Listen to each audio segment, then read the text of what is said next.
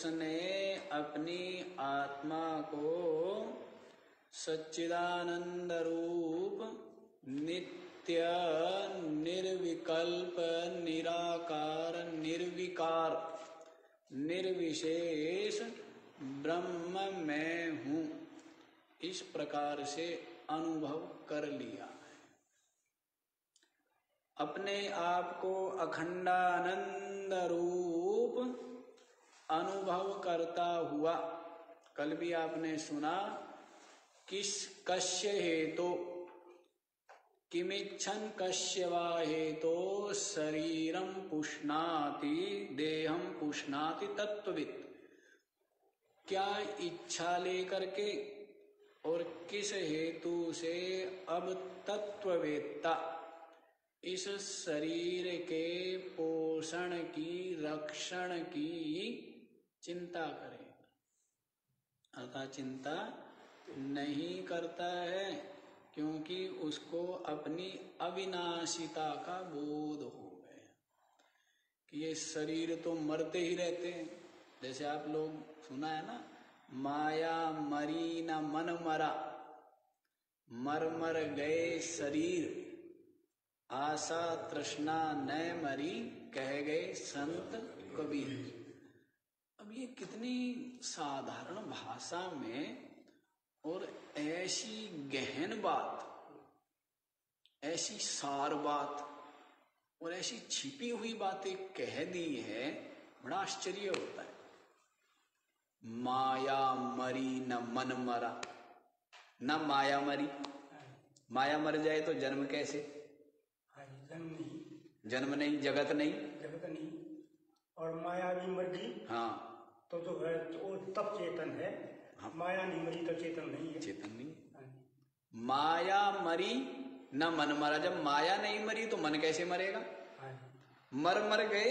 शरीर। शरीर। तो पता नहीं कितने मर गए। कितने शरीर धारण किए और कितने शरीर हमारे से छीन लिए गए। पता नहीं कोई गिनती नहीं क्या है? कोई गिनती नहीं है, कहते हैं ना, शंकर जी अपने गले में मुंडो की माला डाले हुए, है ना? क्या डाले हुए? तो पूछा कि जी ये किसके मुंड है? ये जो आपने गले में मुंडो की माला पहनी हुई, किसके है? किसने पूछा? पार्वती जी ने। वही पास रहती है। पूछा, किसके हैं? शंकर जी कहने लगे, रहने ही दो इस बात, रहने दो। वो आग्रह करने लगी, नहीं, बताओ मेरे को। तब उसने कहा कि मैं तो शाश्वत हूँ। मैं तो क्या हूँ? नित्य हूँ। और तू बारंबार जन्मती है और बारंबार मरती है और ये जितने भी हमने कपाल धारण किए हुए मुंड धारण किए हुए किसके है ये? हर जन्म की। तो इसके द्वारा क्या क्या देखो परिलक्षित होता है? इसके द्वारा एक तो परिलक्षित ये हो ही रहा है कि जो चेतन है आत्मा शंकर शंकरोती थी शंकरा शिव रूपा कल्याण रूपा तो क्या है? अपनी आत्मा ही है। और पत्नी स्त्री क्या है? शरीर है। ये शरीर, ये इंद्रिया, ये बुद्धि, ये क्या है? कहा भी है ना, आत्मा त्वम शंकर जी की प्रार्थना करते हुए, जब मानसिक उपासना करते तो कहते हैं, आत्मा त्वम गिरिजा मति सहचरा। तुम क्या हो?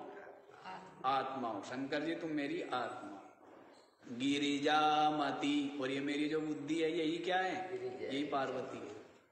सहचारा प्राण। और ये जो प्राण है, ये क्या है? ये सहचर है आपके जो गण। है? भूत प्रेत आदि। प्राण शरीरम गृहम। और ग्रह क्या है? कैलाश क्या है? मंदिर क्या है? कहते शरीरम गृहम। ये शरीर ही घर है। पूजा ते भी आगे भी होता ना? शरीरम गृहम।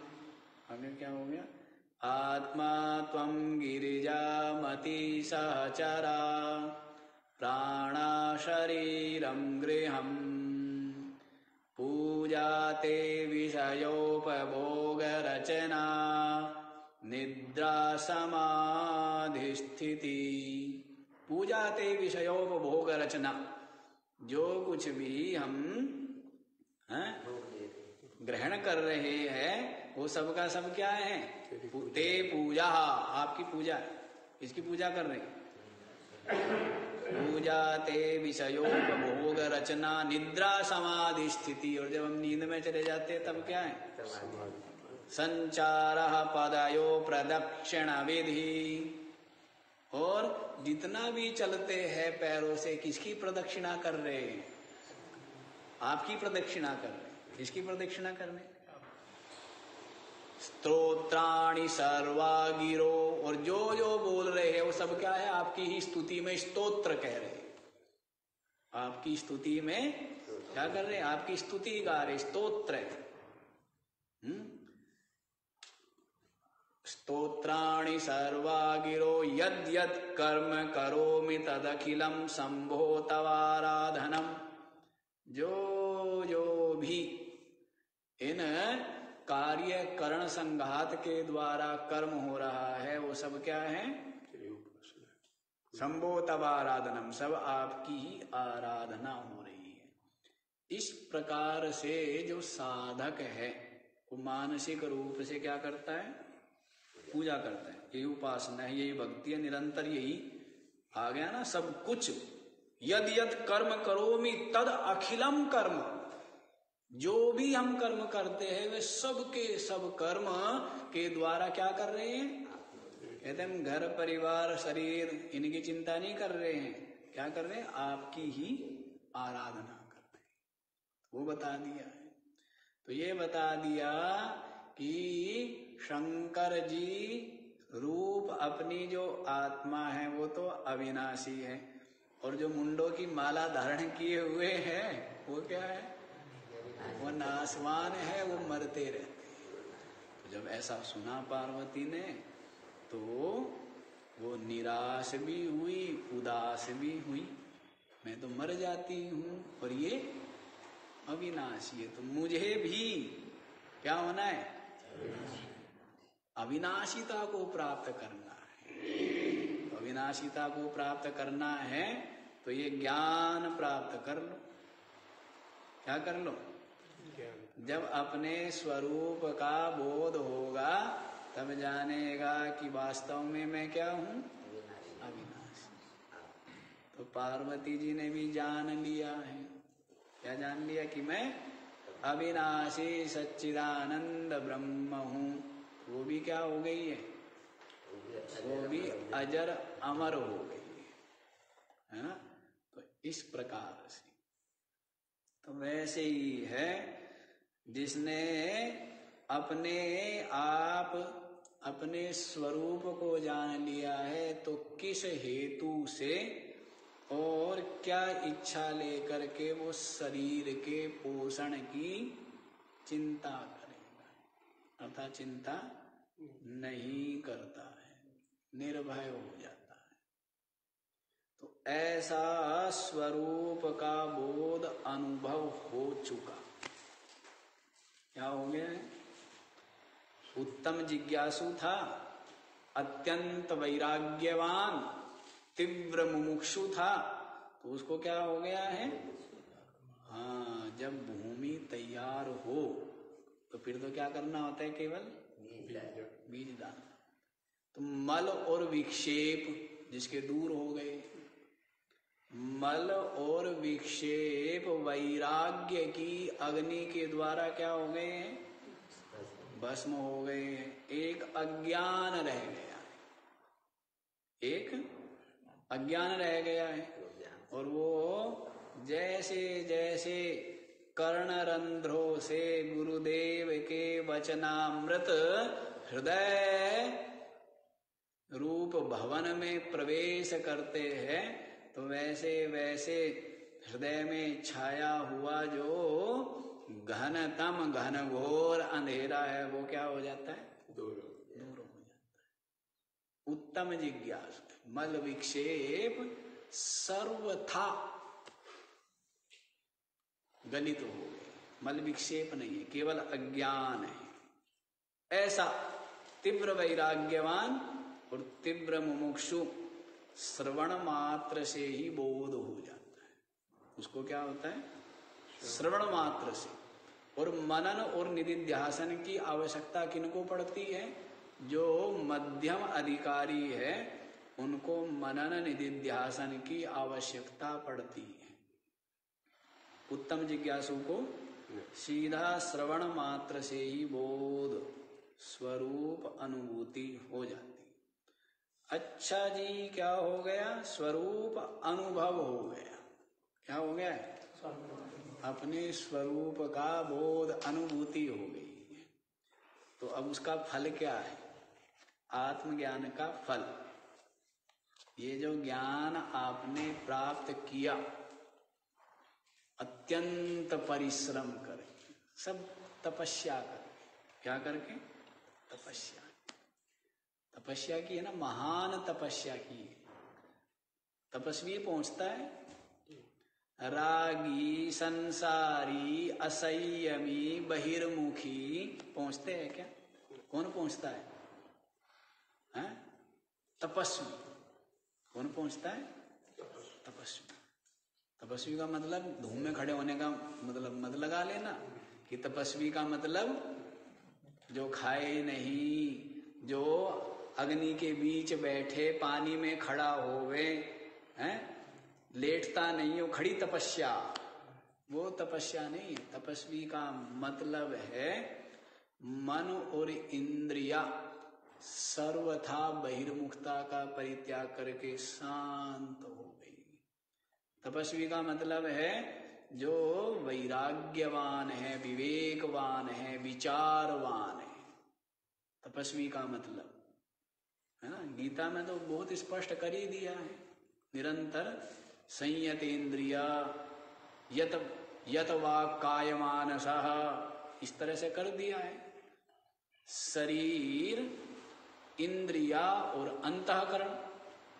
बोला है ना? बारंबार। शरीर, इंद्रिया और अंतकरण, जिसके क्या है? स्ववश में। गीता जी में बारंबार संयत, यत, इस पर बहुत ज़ोर दिया है। नियम, नियम्य, इस प्रकार से। और अभी आप लोग सुन रहे थे पंचम अध्याय में या शायद ष्ठम अध्याय में, पंचम अध्याय में? तो वहाँ पर तो क्या बोल दिया था? बोला है, विगतेच्छा भया क्रोधा या सदा मुक्त एव स। क्या बोल दिया था वहाँ विगत इच्छा भय क्रोध। इच्छा भय क्रोध से जो मुक्त है, उसको तो क्या कहते मुक्त एव सा। क्या बोल दिया? वो तो मुक्त ही है। देखो, वैराग्य यदि सही सही है स्वाभाविक रूप से वैराग्य हो गया है। वो वैराग्य ही मुक्ति है। निन्यानवे प्रतिशत वैराग्य ही मुक्ति है। स्वरूप का बोध वो एक प्रतिशत लगता है। लेकिन जो चित्त है, वो इतना धसा हुआ है, फंसा हुआ है, अनंतकालीन वासनाएँ चित्त में पंद्रहवें अध्याय में क्या बोल दिया? है क्या बोला है? सुविरूढ़ मूलम तीसरा श्लोक पंद्रहवें अध्याय में अश्वत्थमेनम सुविरूढ़ मूलम असंग शस्त्रेण दृढ़ेन ये जो संसार रूप वृक्ष है ना कैसा है सुविरूढ़ मूलम इसका जो मूल है, वो क्या है? अत्यंत दृढ़ है, अत्यंत मज़बूत है। क्या है मूल? ये विविध वासनाएँ। ये क्या है? विविध वासनाएँ जो संस्कार चित्त में जमे हुए हैं। उन सबको क्या करना है? एक एक को जड़ से निकाल निकाल करके जिसने फेंक दिया है शरीर रहते रहते वो क्या है? वो मुक्त ही। स्वरूप का बोध। यहाँ भी आप लोग सुनी चुके थे वासना प्रक्षया मोक्ष वासनाओं का क्षीण हो जाना ही मोक्ष है। वहाँ आत्मानुभूति मोक्ष नहीं कहा। क्या कहा? फिर कहते आत्मानुभूति कहते वो तो बच्चों का खेल रह जाता है। वो कुछ नहीं है। ये जब चित्त का चिपकाव बना हुआ है ना दृश्य में द्वैत में दृश्य में द्वैत में जगत संसार में क्या बना हुआ है? चित्त का चिपकाव बना हुआ है। वहाँ से हट गया तो कहा गया? स्वरूप में आ गया। वहाँ से हट गया तो कहाँ गया? स्वरूप में आ गया। इसीलिए बोल दिया गया था। तो निन्यानवे वैराग्य, इसलिए हम बोला ना, दो दो सिद्धि, वैराग्य सिद्धि और ज्ञान सिद्धि। गीता जी में बारंबार बोला ना कि कि कर्मण कर्मण ही संसिधि आस्थिता जनकादय कर्मणा एव जनकादय संसिधि आस्थिता। कर्मणा एव कर्म के द्वारा ही जनक आदि ने क्या की है? संसिद्धि को प्राप्त किया है, सिद्धि को, मोक्ष को प्राप्त किया है। तो संसिद्धि वहाँ क्या है? वही चित्त की निर्मलता, वही विवेक वैराग्य, वही संसिद्धि है। ज्ञान की प्राप्ति वो तो बाद की बात है। और वो, देखो, वैराग्य सिद्धि कठिन है या ज्ञान सिद्धि कठिन है? वैराग्य प्राप्ति कठिन है और ज्ञान प्राप्ति? सरल वैराग्य प्राप्ति कठिन है और ज्ञान प्राप्ति, आत्म प्राप्ति तो सरल ही है। तो ये बात साधक को बुद्धि में बैठानी चाहिए कि वैराग्य उपलब्धि, स्वाभाविक रूप से चित्त, समस्त दृष्ट, अदृष्ट विषयों से क्या हो गया? उपराम। स्वाभाविक रूप प्रयत्न पूर्वक नहीं बलपूर्वक नहीं। स्वाभाविक रूप से। सबसे बड़ी तपस्या और सबसे बड़ी उपलब्धि है। स्वाभाविक रूप से।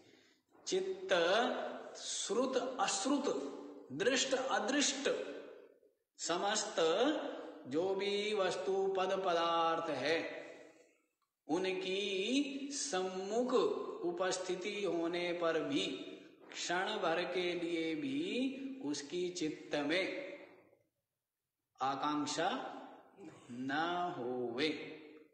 यही क्या है? यही वैराग्य। वैराग्य उपलब्धि कठिन है और ज्ञान उपलब्धि तो सरल ही। ना? तो ये बात बतला दी है। चलिए, ये उत्तम जिज्ञासु तो दोनों पा गया। पहला पा गया तो दूसरा तो पाया पाया है। वैराग्य पा गया तो क्या पा लिया इसने? ज्ञान पा लिया और जान लिया है कि मैं अखंडानंद रूप आत्मा हूँ। ऐसा जान करके अब शरीर की वो चिंता नहीं करता है। ये सुन लिया आपने? अब आत्मज्ञान का फल सुनिए। इस ज्ञान का फल क्या है? इस ज्ञान का भी कोई फल होगा जी? हा? फल सुन लीजिए आप। और फल तो यही है, आनंद। फल क्या है? आनंद।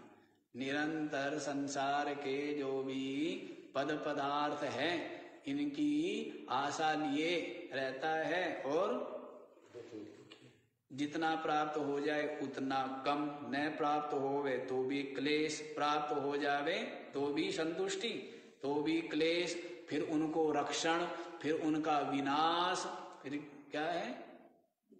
भय और क्लेश बना ही रहता है, निरंतर उनके वियोग की चिंता। तो इस तरह अशांति बनी रहती है, दुख बना रहता है। और जो इनसे ऊपर उठ करके स्वरूप अनुभव हो गया तो आनंद ही आनंद बना रहता। है क्या बना रहता है? आनंद बना रहता है निर्भयता बनी रहती है, शांति बनी रहती है। यही ज्ञान का फल है। तो आप लोग श्रवण कीजिए चार सौ उन्नीस उन्नीसवा श्लोक। संसिद्धस्य फलं त्वेत, जीवन्मुक्तस्य योगिना। बहिरन्त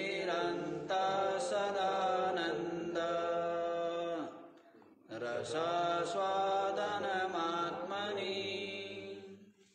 संसिद्धस्य फलम तु एतत्। जीवन मुक्त योगिन। बहि अंत सदानंद रसास्वादनम।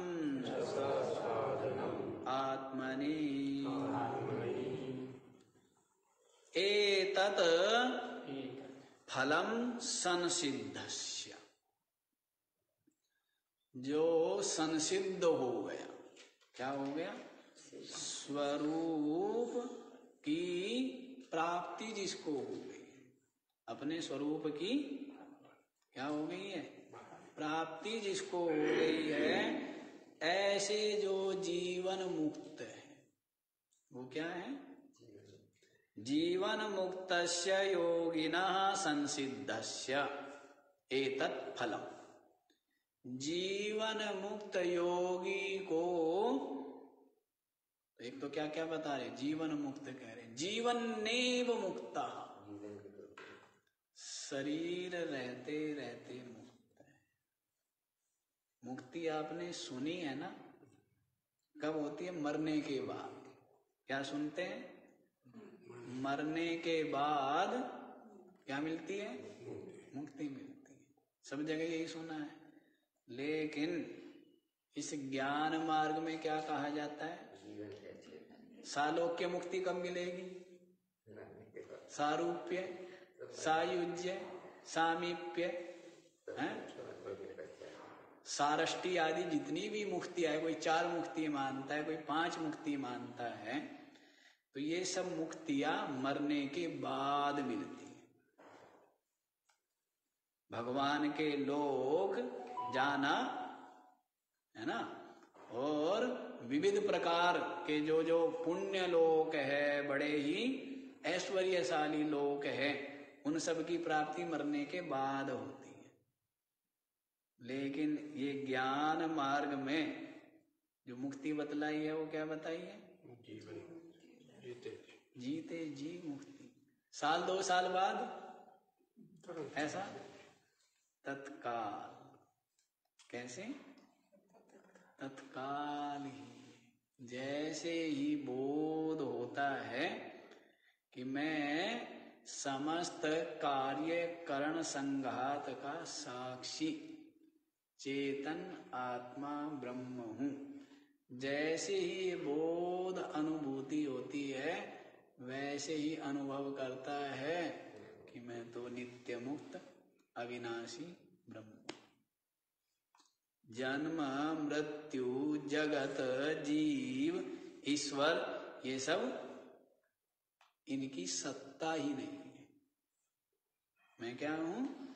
मैं अद्वितीय ब्रह्म रूप तो ऐसे शरीर रहते रहते तत्काल ही ये अनुभव और मुक्ति को पा लेता है। ये जीवन मुक्ति। कोई जीते जी मुक्ति नहीं देता। लेकिन ज्ञान जीते जी मुक्त हो जाता है। सब जगह उधारी बात करेंगे। क्या बात करेंगे? और यहाँ पर नगद। यहाँ पर क्या है? नगद है। उधार नहीं है। जैसे ही ज्ञान होवे, वैसे ही मुक्ति की संपूर्ण रूप से अनुभूति। पूर्ण रूप से अनुभूति। तो उसको ही कहते हैं जीवन मुक्त। क्या बोलते हैं उसको? जीवन। जीवन मुक्त योगिन एतत् संसिद्धस्य जीवन मुक्त योगी को ये ज्ञान उपलब्धि का फल है। क्या फल है जी? क्या फल है? तो कहते वही अंत सदानंद रसास्वादनम आत्मनि। आत्मनि अपने आप में, कहीं बाहर नहीं, किसी दूसरे का नहीं। क्या कह रहे हैं? अपने आप में बही अंत अंदर बाहर। अंदर बाहर क्यों कह रहे हैं? व्यवहार में। जिज्ञासु को समझाने के लिए। ज्ञानी को समझाया जाता है जिज्ञासु को समझाया जाता है। हाँ, ज्ञानी को समझाने की ज़रूरत है। जिसने गुड़ नहीं खाया है उसी को बताना पड़ता है। गुड़ ऐसा होता है मीठा होता है बड़ा स्वादिष्ट होता है। किसको बताना पड़ता है? और जिसने गुड़ खा लिया उसको व्याख्या? व्याख्या करेंगे? तो वैसे ही उपदेश किसको दिया जाता है? या ज्ञानी को? ज्ञानी तो खुद ही मुक्त है। चुप हो जाए। ज्ञानी को क्या हो गया? कुछ कहना नहीं बनता है। ज्ञानी को कुछ कहना, कुछ सुनना ये नहीं बनता है, क्योंकि अद्वैत है, एकत्व है, केवल। तो ये सब चीज़ें नहीं बनती है। तो ये व्यवहार में जिज्ञासु को बता रहे क्या होता है कि अपने आप में ही उस जीवन मुक्त ज्ञानी को बहिरंत अंदर बाहर सदा आनंद रसास्वादनम सदा ही क्या रहता है? आनंद रस का आस्वादन। उसका जो स्वाद है, सुख है, अनुभूति है, वो उसको मिलती रहती है। अंदर बाहर सदा। क्या क्या बोल रहे बाहर भी, अंदर भी। सदा। आनंद रसास्वादनम आत्मनि। अपने आप में ही। अपने, कहीं जाना नहीं, कहीं आना नहीं। किसी पदार्थ के आश्रित नहीं। क्या? आत्मनि सदा अंद अंत बही आनंद रसास्वादनम अपने आप में अंदर बाहर निरंतर आनंद रस का ही आस्वादन होता रहता है। पूर्णता। क्या हो गई? पूर्णता। और जब जीव भाव रहता है, तब क्या होता है? अपूर्णता का अनुभव करता रहता है और विविध विषय वस्तुओं की इच्छा करता रहता है और उससे चित्त निरंतर क्लेश का अनुभव करता रहता है। क्लेश पाता रहता है। समझ आ गया? जो जीवन मुक्त है, जीवन मुक्त हो। बड़ा परि, परिश्रम बड़ी पुरुषार्थ बड़ी तपस्या। करके क्या हो गया? ज्ञान उपलब्धि करके जीवन मुक्त हो गया। ऐसा योगी उसको ज्ञान प्राप्ति का यही फल है। अंदर बाहर निरंतर अपने आप में आनंद रसास्वादनम भवती। आनंद रस का ही आस्वादन होता रहता है। बना रहता है, क्योंकि आनंद अपना आप है। आनंद में रहो। क्या?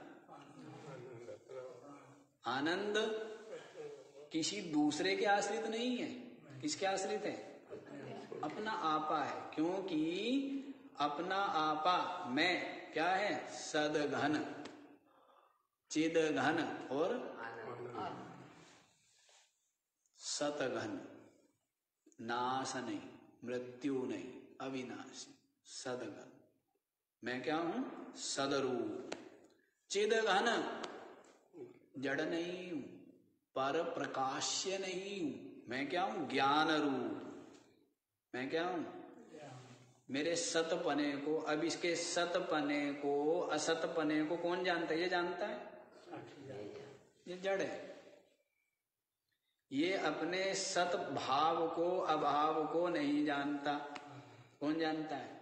चेतन जानता है ना? है? तो वैसे ही मुझ आत्मा के सतपने को जानने वाला कोई दूसरा है? कौन है? क्योंकि मैं चिद हूँ। सत्य के साथ साथ क्या हूँ मैं? चिद हूँ। ज्ञान स्वरूप क्या हूँ? बोध स्वरूप तो सदगन हुआ और क्या हो गया? चिदगन। और फिर आनंद घन क्या हूँ? आनंद घन हूँ। ये विक्षेप, ये क्लेश, ये आशा, ये आकांक्षा मुझमें नहीं है क्योंकि मैं आनंद हूँ। क्योंकि मैं अद्वैत हूँ, व्यापक हूँ, पूर्ण तो आनंद ही आनंद है। तो बोल दिया सच्चिदानंद घन क्या बोला गया? सच्चिदानंद घन मैं हूँ। ऐसा निरंतर आनंद का अनुभव बना रहता है। पहले हर समय भय रहता है ना? क्या भय रहता है? असतपने का। अभी तो मैं हूँ और फिर मेरा क्या हो जाएगा? विनाश हो जाएगा। क्या हो जाएगा? सबको मरते हुए देखता हूँ तो मैं भी मर जाऊँगा, क्योंकि शरीर को क्या मानता है? तो मानता है मेरा असत हो जाएगा। फिर अपने आप क्या मानता है? जड़। क्या मानता है? और अपने आप में क्या अनुभव करता है? दुखी हूँ। क्या अनुभव करता है? लेकिन जब ज्ञान हुआ, तब जानता है, सत हूँ, मेरा कभी विनाश हो ही नहीं सकता। चिद हूँ, जड़ नहीं हूँ, ज्ञान रूप हूँ। और दुख का तो मुझमें प्रवेश ही नहीं। दुख का मुझमें ये तो प्रारब्ध का खेल है, उपाधियों के लिए है तो दुख कहाँ है? दुख है? अज्ञानी के लिए क्या है? सारी संपदा भी आपद रूप है। और ज्ञानी के लिए सारी आपदाएँ भी क्या है? संपदा रूप हम्म? अज्ञानी के लिए सब सब संपदा भी क्या है? आपदा रूप है नहीं? भय, अशांति, आकांक्षाएँ, वो बनी रहेगी राग द्वेष बना रहेगा ना? तो अज्ञानी के लिए क्या हुई? संपदा आपद रूप हुई ना? और ज्ञानी के लिए आपदा भी क्या है? संपद। रूप ही है, क्योंकि वो जानता है। ये सब क्या है? प्रारब्ध का खेल है। कर्म का भोग है। रोने चिल्लाने से, चिंता करने से कुछ बदलने वाला नहीं है। कह ही दिया है गीता जी में। क्या कहा है? आगमा पाइना अनित्या तास्तितिक्षस्व भारत। बड़े विचित्र हैं जी, संसारी, बड़े विचित्र। श्री कृष्ण कह रहे हैं, अर्जुन को कि भाई, ये जो सुख दुख है ना, ये अपने प्रारब्ध का भोग है, और ये तो आएँगे ही, और इनको सहन कर, और उसी श्री कृष्ण के पास जा जाके क्या कहते हैं, भगवान, मेरे दुख? साक्षात कह रहा है। क्या कह रहे हैं? किसी और ने तो नहीं कहा है। कौन कह रहे हैं? श्री कृष्ण कह रहे आगमा पाइन अनित्य तितिक्षस्व भारत। भाई, ये जो सुख दुख है ना, ये आगमा पाइन आने जाने वाले एक आता एक? क्या करो? तांश तितिक्षस्व इनको तितिक्षा करो, सहन करो। धैर्य रखो, ये भी नहीं रहेंगे बीत जाएँगे। कौन कह रहे हैं? और आप क्या कहते हो? सुबह, शाम, हैं? रिश्वत देते हो। सुबह, शाम क्या करते हो? कभी भोग लगा देते हो, कभी क्या उसका मक्खन मिश्री, कभी कुछ कभी कुछ। क्या करते हो? घूस। कि क्या कर दे भगवान हमारे, अरे सत्संग में पहुँच, तेरे दुख अभी दूर हो जाए कहा पहुँच? तो अपने पास बुलाने का एक क्या है? बहाना है। क्या है? बहाना है। सत्संग में आएगा तो जैसे मंदिर में आएगा। अब मंदिर में क्या मिलेगा? सत्संग? मंदिर में क्या मिलेगा? अब सत्संग सुनेगा तो क्या होगी? ज्ञान। तो अशांति चिंता दूर होगी ना? तो ये तो एक बहाना है। ये तो दुख कैसे दूर हो जाएँगे? जो तेरे प्रारब्ध है, वो तो भोगना ही पड़ेगा ना। कर्म का फल तो भोगना ही पड़ता है। तो रिश्वत से काम नहीं चलेगा। तो ये बात नहीं समझते कि श्री कृष्ण कह रहे हैं, सुख दुख का फल तो भोगना ही पड़ेगा ये। लेकिन फिर भी कहता है, भगवान मेरे दुख दूर कर दे, भगवान मेरे दुख दूर कर दे। प्रार्थना करता रहेगा, अनुनय विनय करता रहेगा। चलो ये भी अच्छी बात है। और नहीं तो क्या है? डिप्रेशन में मर जाएगा। कम से कम ये आशा बनी रहती है कि भगवान ठीक है। सुन रहा है मेरी और भगवान बड़ा दयालु और बड़ा कृपालु है और बस करी सुन ली और क्या करेगा? बस कर ही देगा दुख दूर। हाँ? आशा बनी रहती अब की बार नहीं इस बार कर देगा। भगवान तो दयालु है। भगवान दयालु, कृपालु है तो इसी आशा भी चलो अच्छी बात है। ये भी एक विज्ञान है। ये भी क्या है? ये मनोविज्ञान है। तो इस विज्ञान से भी बड़ा संतोष का अनुभव होता है। साधकों को, संसारियों को अच्छी बात है। तो ये रहना चाहिए। ये भी सब विभिन्न पद्धतियाँ हैं। है ना? शुरू में ही क्या बताया जाए कि भाई सबका सब कल्पित है। शुरू में तो समझ नहीं आएगा ना। उसके लिए तो शरीर भी, संसार भी विपत्तिया संकट भी सबके सब सत्य है। तो उसको कहे कि सब कल्पित है तो नहीं समझ आएगा। लेकिन जैसे जैसे जिज्ञासु होगा, श्रवण करेगा, विचार करेगा, तब जानता जाएगा, सब कुछ कल्पित है, मुझ आत्मा से भिन्न। सब कुछ क्या है? सब देवी, सब देव, सब ईश्वर, सब भगवान, सब जगत, लोक, परलोक, सबका सब क्या है? ये तो बहुत बाद की बात है।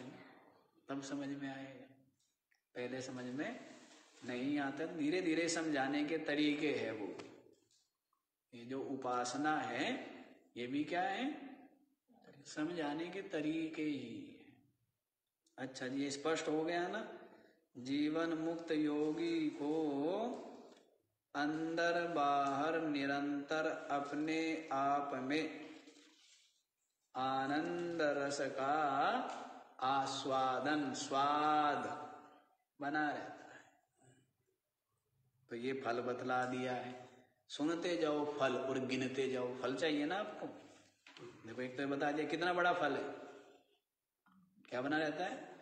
जिस संसार में द्वैत में निरंतर विक्षेप, भय, चिंता, अशांति, क्लेश, पीड़ा, दुख, दर्द, संकट, विपत्ति, प्रतिकूलताएँ, विषमताएँ, चिंताएँ, इच्छाएँ, पता नहीं क्या क्या बना रहता है जिस संसार में।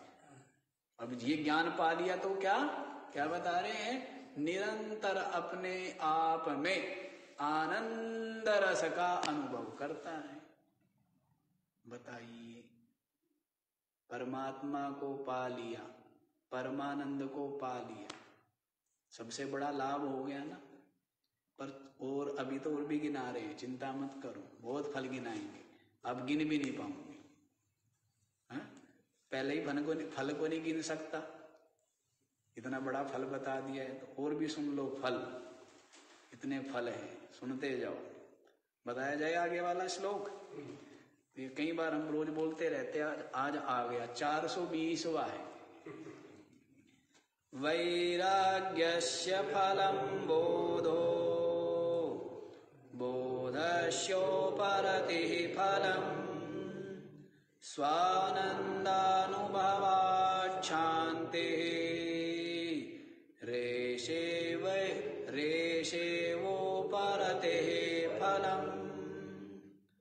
वैराग्यस्य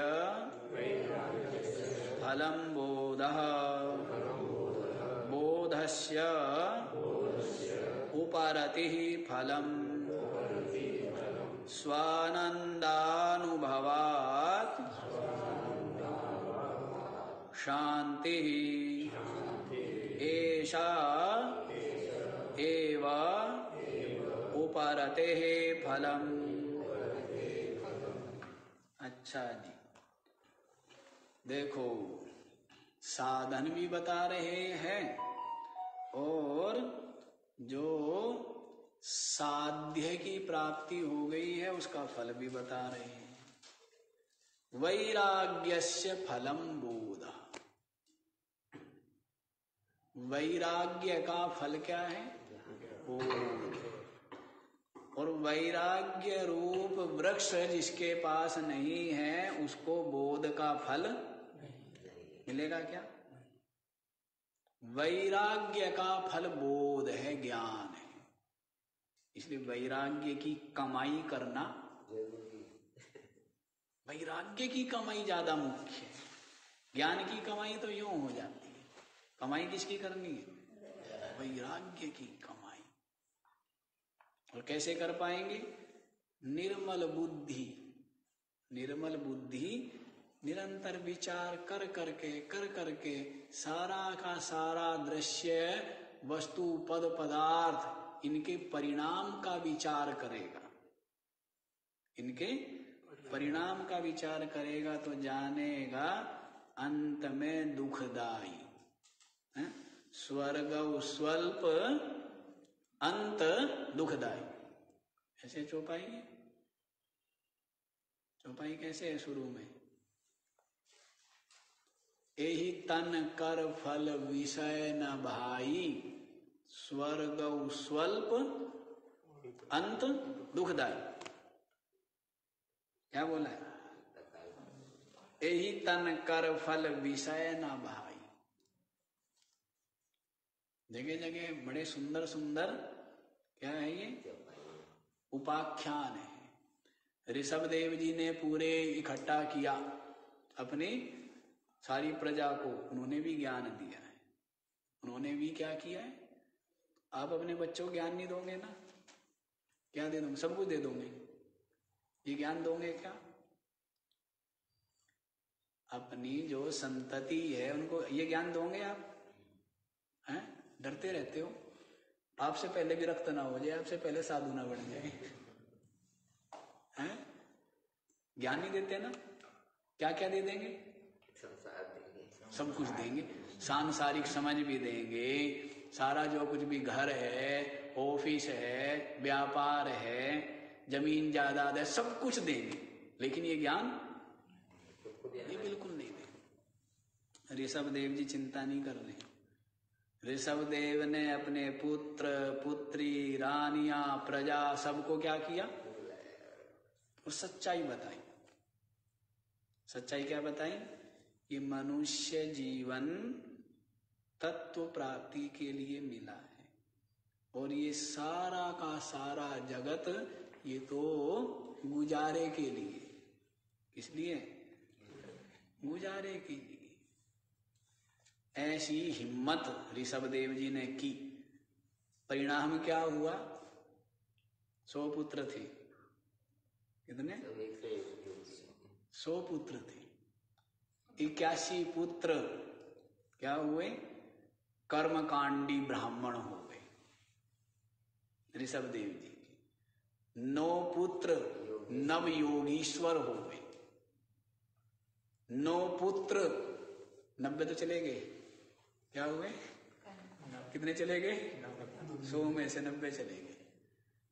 नौ पुत्र नव खंडों के राजा हुए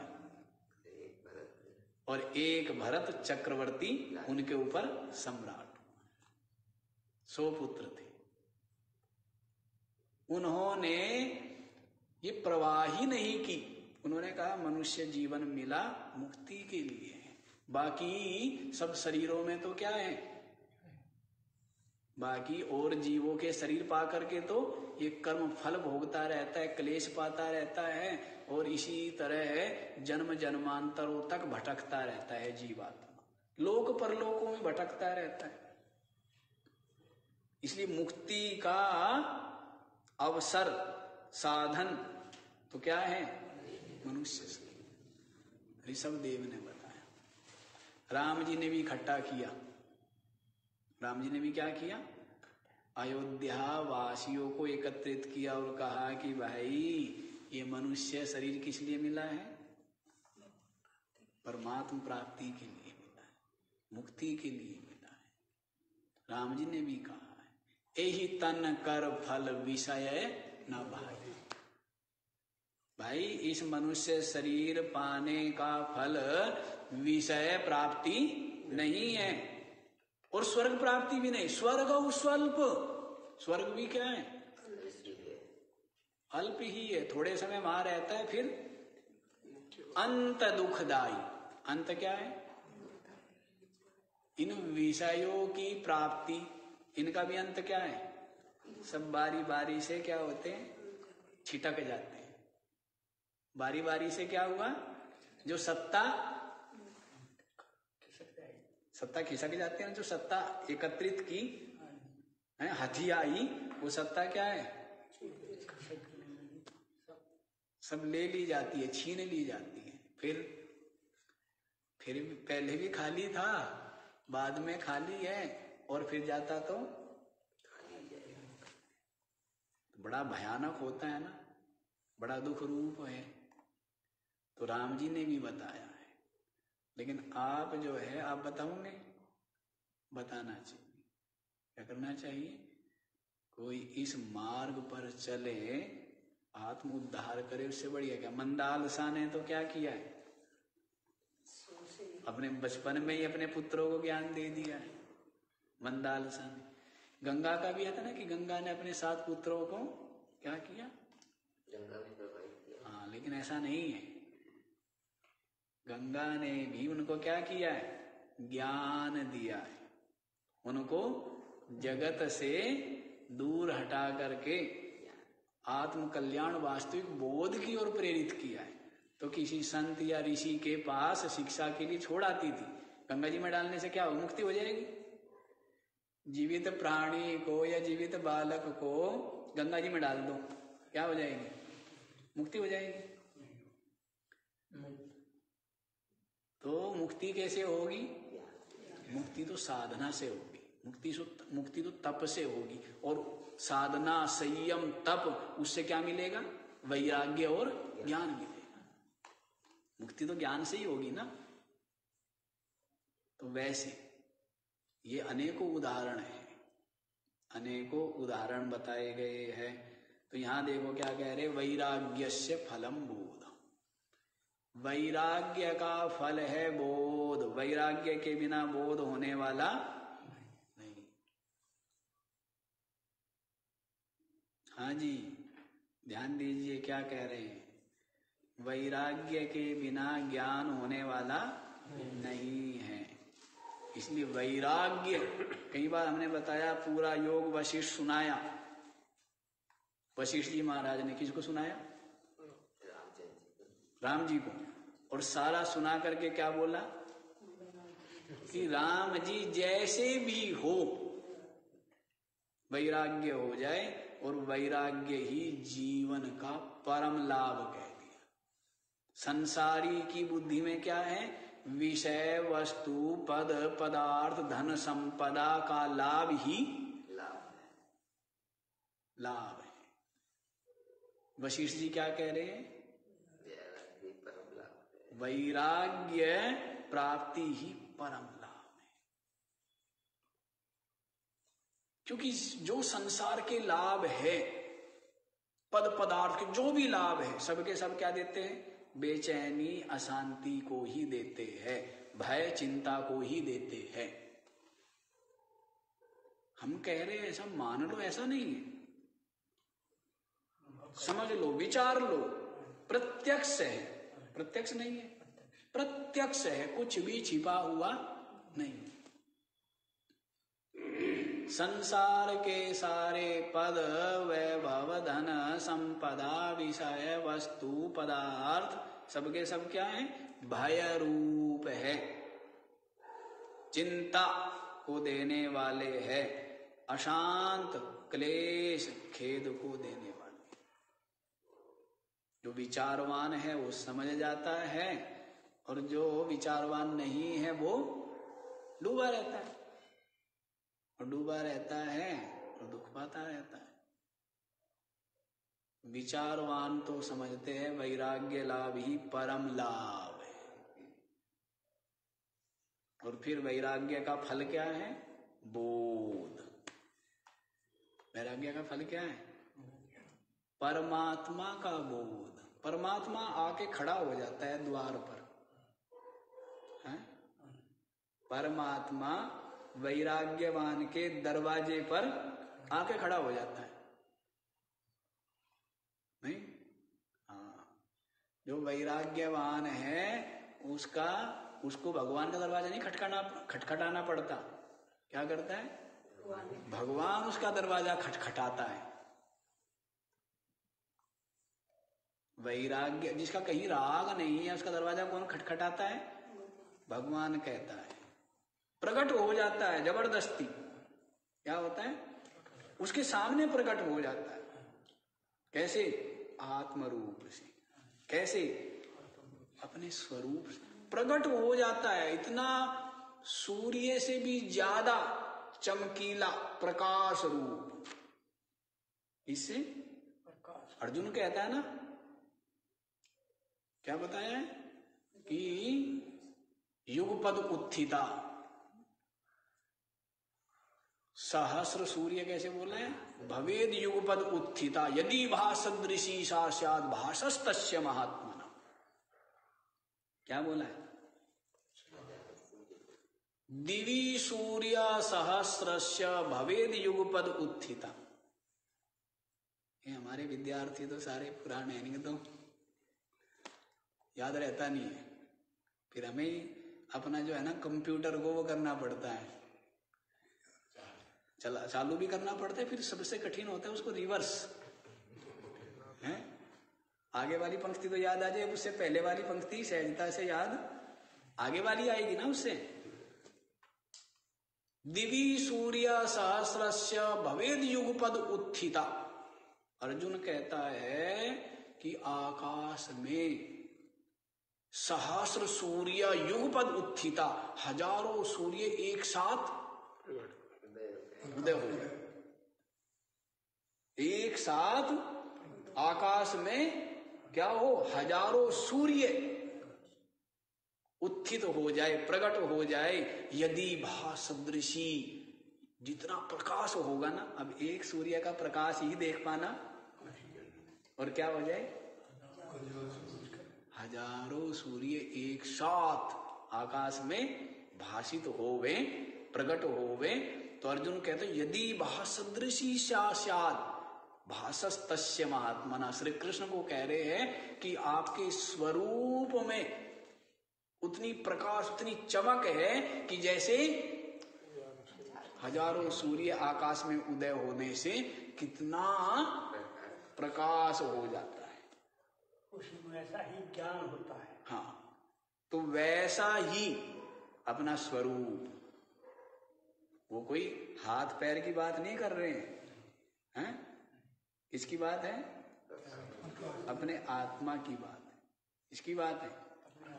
कि एक सूर्य का प्रकाश नहीं अपनी जो वैराग्यवान है उसके सामने हज़ारों सूर्य के प्रकाश के समान अपनी आत्मा प्रकाशित हो जाती है। ज्ञात होती है। आत्म रूप से ज्ञात होती है। अपनी आत्मा हज़ारों सूर्य की प्रकाश के समान इतना प्रकाश रूप इतना प्रकाश ये प्रकाश मत समझ लेना इतना प्रकाश रूप माने उतना प्रत्यक्ष उतना सदरूप चिदरूप और आनंद। अनुभव में आता है और सबके सब प्रकाश उसके सामने धूमिल है सबके सब प्रकाश क्या होते हैं? उसके सामने वो हो जाते हैं मलिन हो जाते हैं। क्या हो जाते हैं? वो हो जाते हैं। प्रकाश के रह जाते हाँ। दूसरा शब्द भूल गया मैं शब्द ध्यान नहीं आ। उसके सामने फीके पड़ जाते हैं। अपनी आत्मा के बोध अनुभूति के सामने हज़ारों सूर्य के प्रकाश भी धूमिल फीके, कमज़ोर अनुभव में आते हैं। बताइए, है ना? ये ऐसा अपना स्वरूप है। अर्जुन ने बता ही दिया है। तो इसी को कहते हैं कि वैराग्य का फल, बोध है। और बोध का फल क्या है? ऊपर बोध का फल क्या है? बोध बोधस्योपरति फलम। बोध का फल है उपरति, उपरामता। द्वैत से उपरामता। अज्ञान से माया से उपरामता। वो तो बात वो कहानी बीच में तो नहीं रही ना? माया मरी, न मन मरा। शरीर मर गए। आशा, तृष्णा।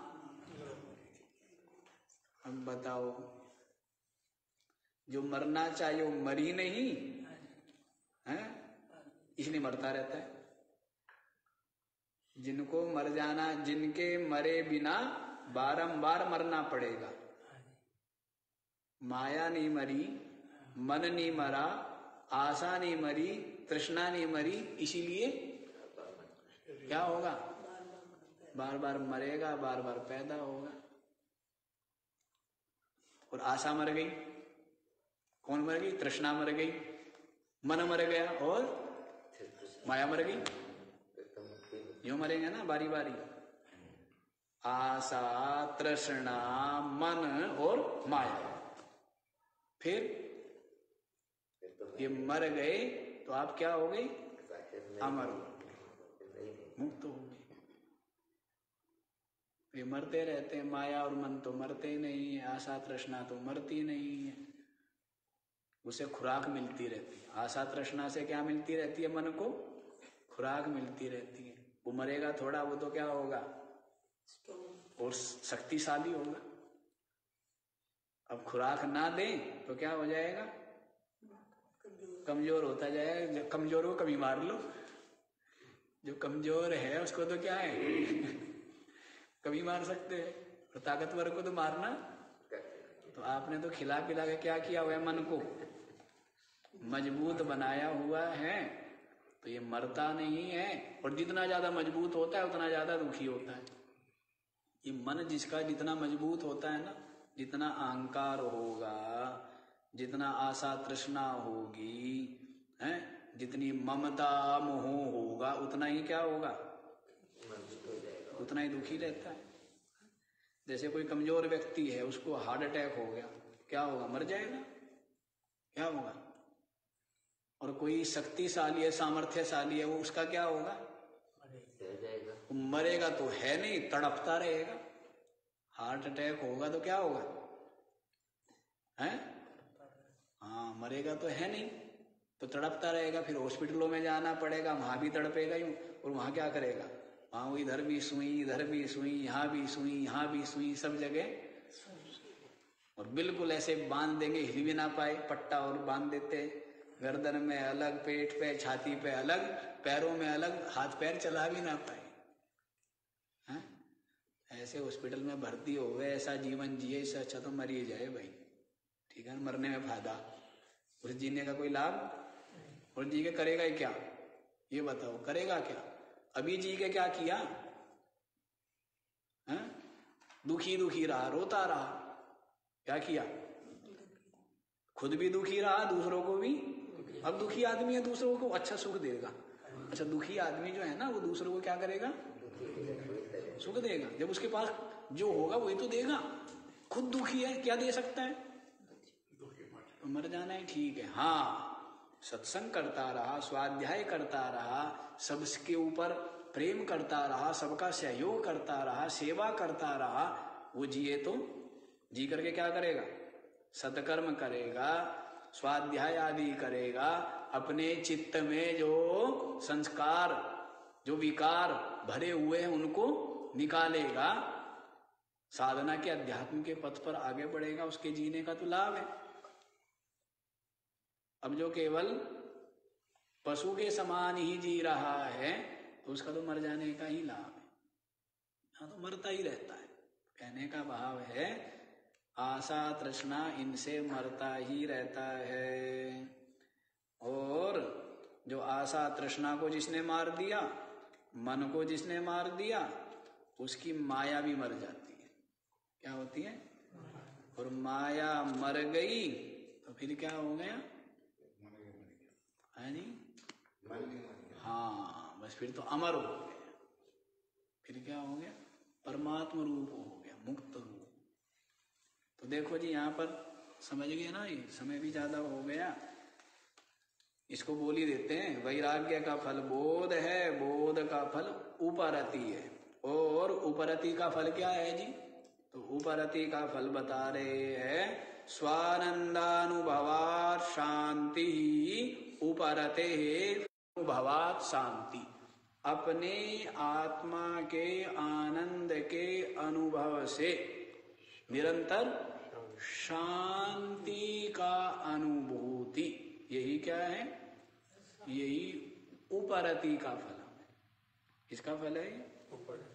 वैराग्य, फिर बोध, फिर उपरति और शांति। हाँ जी, समझ गए? क्या? वैराग्य, उसका फल क्या है? बोध, ज्ञान। ज्ञान का फल क्या है? उपरति, उपरामता। सारे प्रपंच से उपरामता। और इस उपरामता का फल क्या है? स्वानंदानुभवात शांति। अपनी आत्मा के आनंद के अनुभव से निरंतर। अथाह असीम अपार शांति की अनुभूति। यही उपरती का फल है बाकी का विचार कल है। ओम नमः।